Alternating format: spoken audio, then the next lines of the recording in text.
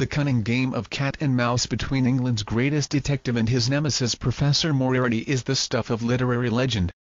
And it almost seemed as if Sherlock star Benedict Cumberbatch was trying to outwit his on-screen adversary in real life yesterday, as he took ingenious steps to keep his wedding secret.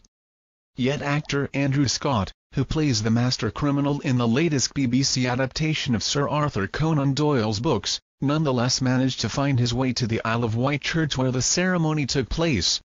Cumberbatch went to extraordinary lengths to keep his wedding secret, especially from the press and his fans.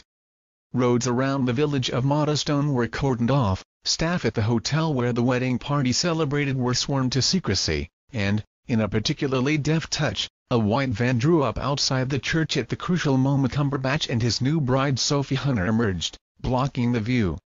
The sneaky deployment of the vehicle was a sly echo of the moment in the 2012 TV series when the detective used a truck in the plot to fake his death.